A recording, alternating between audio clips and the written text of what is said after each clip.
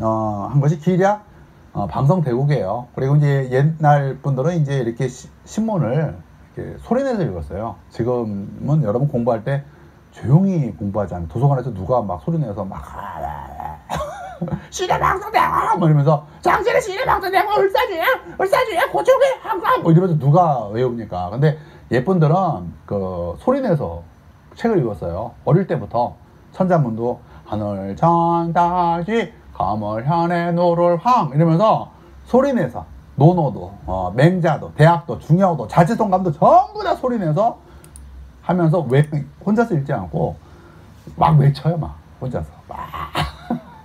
전철에서 막 핸드폰 보면서 막 소리 지르는 사람이 있으면 뭐야 씨발 이렇게 했지만 이 당시 그게 자연스러운 풍경이었어요. 그러니까 이 당시는 여러분 굳이 신문을 살 필요 없어요. 누가 신문을 사면 뭐 하면 돼요? 그 옆에서 그냥 이렇게 있으면 알아서 읽어줘요. 그래서 그날도 이제 수많은 유생들이 황성신문이 국한문 혼용이고 어, 한문도 많아요 근데 이제 제가 읽어주는 거죠 개되지 못하다 오늘 정부 무대신이란 자들해 이러니까 이제 사람들이 뭐야 씨발 이러면서 모이던 거예요 모이면서 시리아 방송대회를 통해서 을사조약에 체결된 걸 알고 이걸 규탄하는 시위가 서울 시내 곳곳에서 일어나게 된 거예요.